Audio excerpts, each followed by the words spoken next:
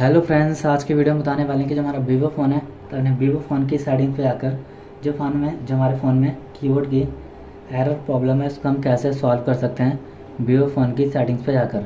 तो video start करने से पहले हमारे चैनल को लाइक करें और सब्सक्राइब करें और साथ में ही बेल आइकन दबाना ना भूलें। तो वीडियो स्टार्ट कर लेते हैं। तो आप देख सकते हैं कि जो हमारे फ़ोन के आइकन्स हैं, हमारे फ़ोन में इस प्रकार से शो हो रहे हैं, देख सकते हैं। तो इसमें हम स्वाइप करके अपने ऑल आइकन्स ओपन कर लेंगे। तो जो हमारे फ़ोन के ऑल आइकन से ओपन हो जाते हैं तो इसको आपको देख सकते हैं जो हमारा ऑप्शन आ रहा है, इसमें सेटिंग्स आइकन इस पर क्लिक करेंगे।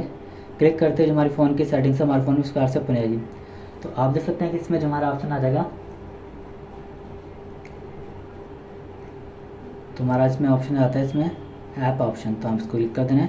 क्लिक करते जो हमारे ऐप सेटिंग से ओपन होगी इसमें से आपको क्लिक करना है she all seventy eight apps तो इस पर क्लिक करेंगे। तो जो हमारे ऑल ऐप्स हैं, हमारे फ़ोन में ओपन हो जाएँगे। तो इस पर से आपको क्लिक कर देना है, जो हमारा ऑप्शन आता है जी बोर्ड तो जी बोर्ड ऐप से आपको क्लिक कर देना जिसके हमारा ऑप्शन आ गया। इस पर क्लिक करते ही जो हमारे फ़ोन के जी बोर्ड सेटिंग से हमारे फ़ोन ओपन हो जाएगी। तो इस पर आपको क्लिक करना है, जो हमारी कीबोर्ड की एरर प्रॉब्लम है, उसको आप सॉल्व करना चाहते हैं। तो सॉल्व करने के लिए आप जो भी हमारा कीबोर्ड का डाटा वगैरह होता है तो हम इसको रीसेट कर देंगे।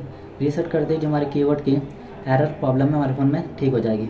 तो इस प्रकार फ़ोन की सेटिंग जाकर कीबोर्ड की एरर प्रॉब्लम को हम सॉल्व कर सकते हैं वीवो फ़ोन में। तो आपको वीडियो अच्छी लगी तो लाइक करें।